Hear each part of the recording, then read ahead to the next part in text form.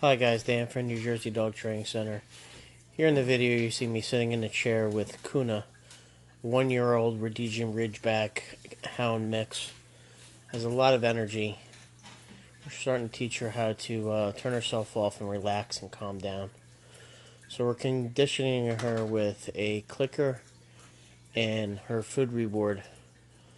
Once she starts to relax and getting into the down position, so when she's starting to lay down, we click and reward her for doing that. Um, you can see I'm sitting on her leash to keep her from getting too uh, distracted and wandering away too far. A little bit later in the video here, I'm going to uh, give her a little light correction on the leash when she starts getting too focused on uh, my front door. And then right from there, we start into uh, rewarding her for calming down.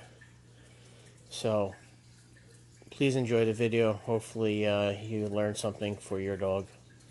Thank you. Uh, please subscribe to New Jersey Dogs, YouTube, Facebook, Instagram.